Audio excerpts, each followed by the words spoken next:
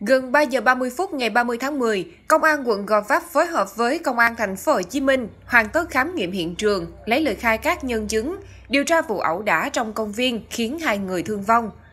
Trước đó khoảng 22 giờ ngày 29 tháng 10, người dân sống ở gần công viên khu phố 6, phường 17, quận Gò Vấp, nhìn thấy hai nhóm thanh thiếu niên đuổi đánh nhau trong công viên.